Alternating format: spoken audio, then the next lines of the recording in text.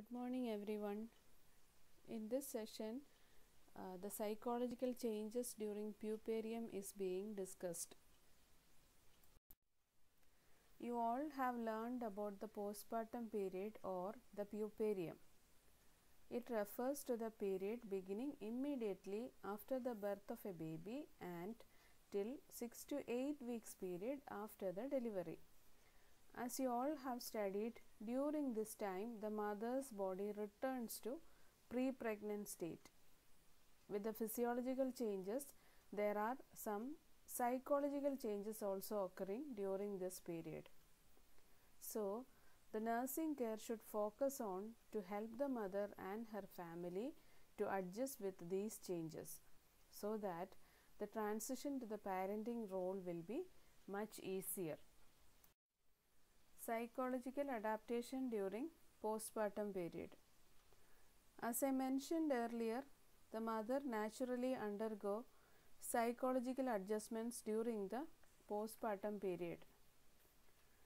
Reva Rubin, a nurse researcher and theorist who studied about the maternal adaptation to childbirth during 1960s, proposed three maternal phases during the postnatal period.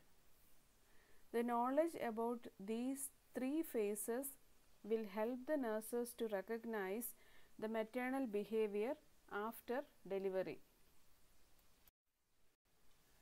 This three phase transition process occur during the first few weeks of the postpartum period.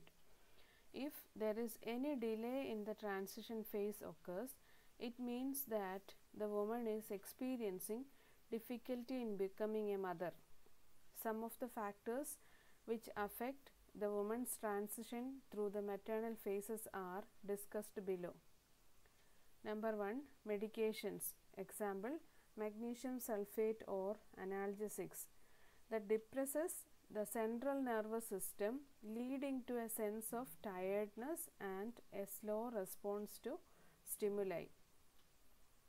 Number 2 complications during pregnancy, labor and birth or postpartum.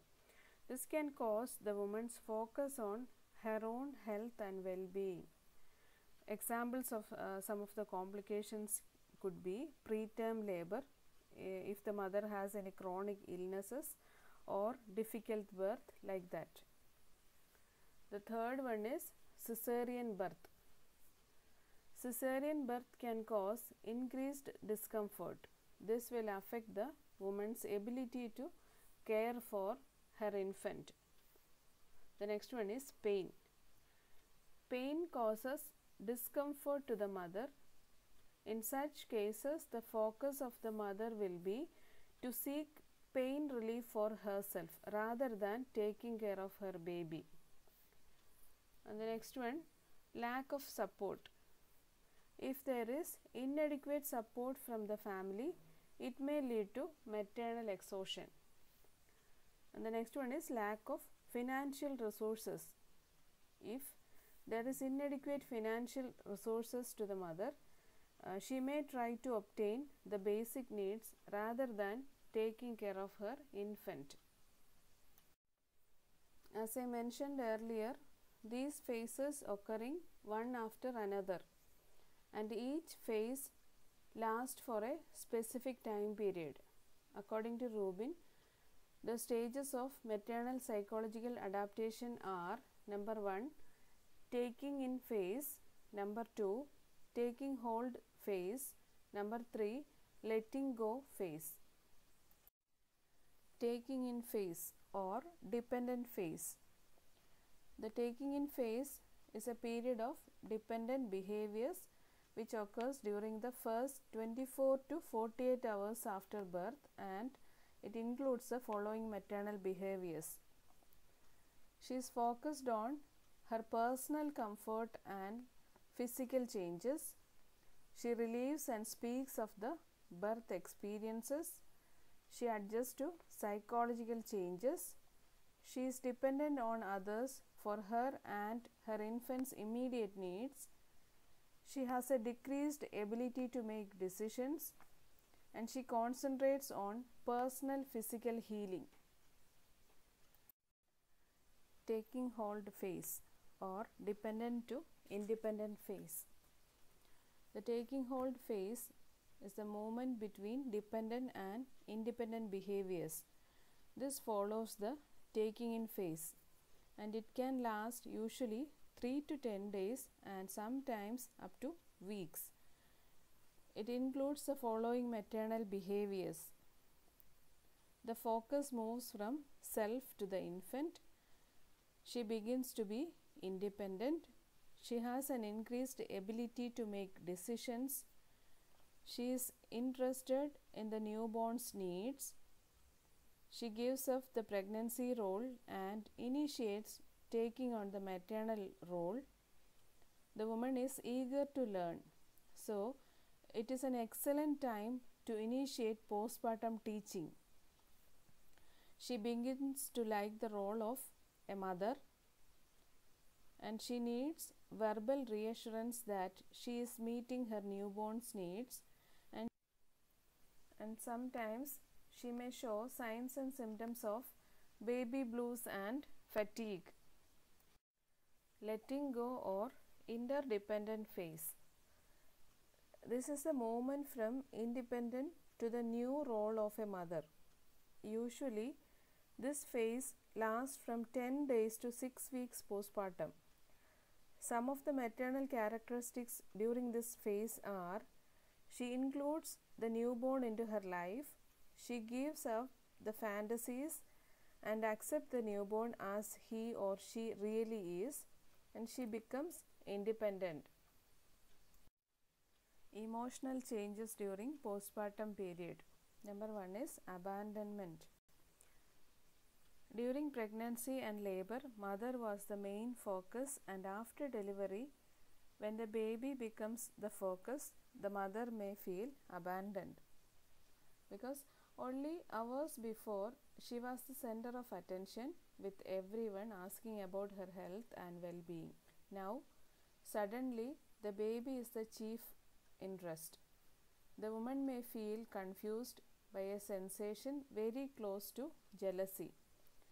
Shared responsibility for infant care can help alleviate these feelings. Next one is disappointment.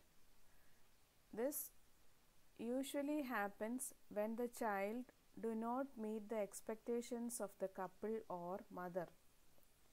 It can be difficult for the mother to feel positive immediately about a child who does not meet their expectations. You have to handle the child warmly, comment on the child's good points like that. This will help to avoid the disappointment. Overwhelmed. Taking care of the newborn baby is a new job for the mother and it begins soon after the delivery. She may not be getting adequate rest and sleep with the new role. Because of all these, she may become overloaded.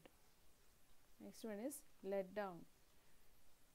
Being a mother is a new role for her. Sometimes she may be disappointed due to the challenges faced in the new role. She may have a sudden feeling of sadness about no longer being pregnant. VP. This means the mother may be tearful or crying. This could be due to the result of sudden changes in life and in hormones. This usually occurs between 3rd and 10th postnatal day. Next one is feeling beat up.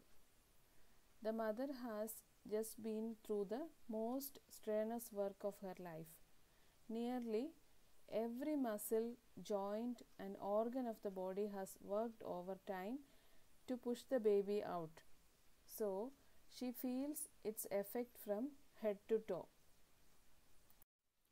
Resolution It takes 6 to 12 weeks for the mother to recover from childbirth, and the libido often takes some time to return. Assessment of emotional, behavioral, and social factors in the postpartum period helps the nurse to identify the family needs for support teaching and anticipatory guidance. The nurse also assess the mother's knowledge and abilities related to self-care, newborn care and health maintenance and feeling about her body image.